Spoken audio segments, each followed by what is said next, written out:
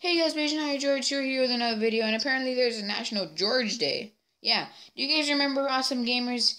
Yeah, well he changed his gamer tag to Phantom Jerry with zero one, which is absolute crazy.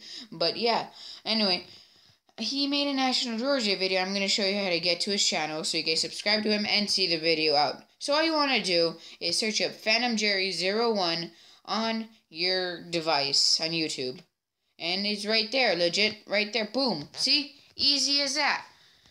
Super simple. That's it. Anyway, you go to his uploads, you put show all, and you guys should definitely check out his National George Day video and all his other videos, and maybe subscribe to him.